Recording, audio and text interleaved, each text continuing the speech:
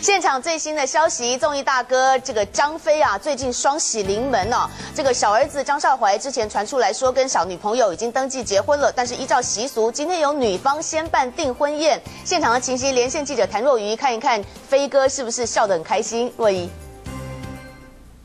是主播，今天呢是张飞的小儿子张少怀举办订婚宴的日子。不过呢，由于这个订婚宴呢是以女方的亲友为主，所以现场规划的比较低调简单，也没有看见呢其他的艺人来出席。不过可以看见的是，这个飞哥张飞他的脸上非常的开心哦，是挂满了笑容。那么先来听一下他稍早的访问。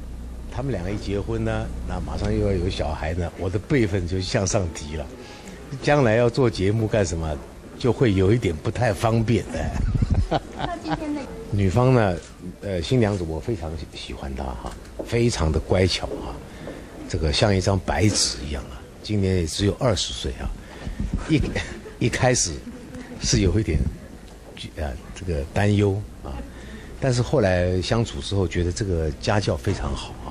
好的，可以听到呢，这个张飞哦对媳妇呢是非常非常的满意。他还透露说呢，小哥费玉清哦是特地为了这对新人呢来挑选了喜饼表示祝福。那么根据了解哦，张飞自己呢也是包了一个五百万元的大红包当做贺礼要送给儿子哦。那在现场呢可以看见张飞的父亲也是来到了现场，他们三代同堂呢气氛是非常的欢乐。那么新娘翁心怡呢今年只有二十岁，她同时呢也是一名演员。